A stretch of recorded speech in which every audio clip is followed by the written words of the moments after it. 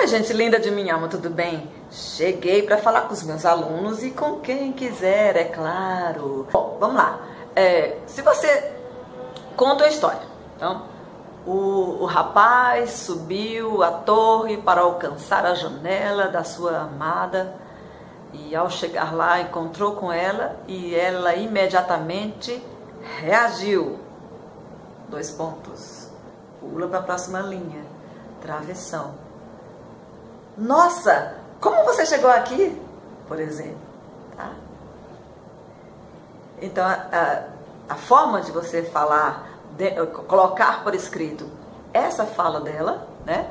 Nossa, como você chegou aqui, é uma fala, né? Com dois pontos e um travessão. A fala tem que ser um parágrafo só, tá bom? Ou seja, num texto, numa narrativa, pode ter um parágrafo de uma palavra só. Oi, que é a fala, travessão, tal. Também pode ser feito com aspas, tá bom? Tanto pode ser feito com os do travessão quanto os das aspas. Alguns autores preferem colocar na mesma linha. Ela disse, dois pontos, aspas, nossa, como você chegou aqui? Vou colocar aqui por escrito, tá, gente? Isso dá um trabalho na hora de editar, viu? Colocar esse negócio por escrito. Dá um trabalho que vocês me dão. Tô brincando. É, alguns autores utilizam isso na mesma linha. Eu confesso a vocês que não é a minha preferência. Eu gosto das coisas bem organizadinhas. É, meus alunos sabem disso, né? Eu gosto de tudo muito bem organizadinho. Então, eu acho melhor. E quando eu leio também, tá? Então, a gente pode ter a situação em que a, a, a fala fica na mesma linha ou na, no outro parágrafo, assim, com aspas ou com travessão, tá? Se você prefere usar o travessão, não deixa na mesma linha, não. Não vai dar certo, não vai ficar legal, tá?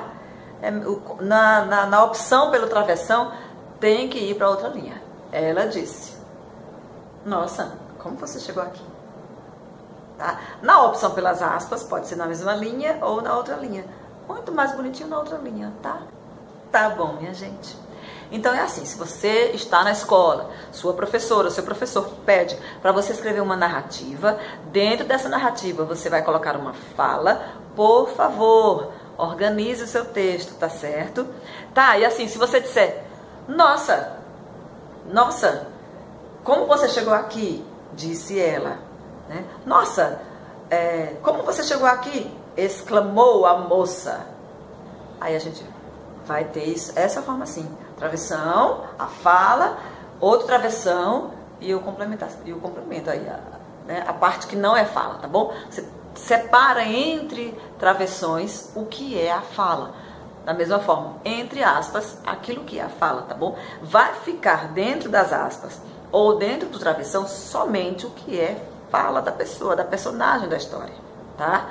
Tudo que é o narrador falando fica fora do travessão, fora das aspas tá certo? Assim. Ó, exclamou ela, é o narrador falando, tá bom? Tá bem, minha gente. É fácil. Por favor, quando você estiver na escola, eu sei que o tempo da produção na sala de aula é tão curto, né? O professor precisa daquela tarefa, a gente precisa avaliar para poder explicar o que é que tá, é, o que o aluno ainda precisa entender. Então você tem pouco tempo para fazer, a, a, escrever aquela redação, tem que vir a inspiração, tem que vir a, a concentração, a sala de aula toda cheia de menino bagunçando, é difícil, eu sei, mas tenta se organizar, tá bom? Ao escrever o seu texto na escola. Tá bom, meus amores lindos. Curte o vídeo, compartilhe com seus amigos da sua sala de aula, etc. Se inscreve no canal. Beijo pra você. Tchau.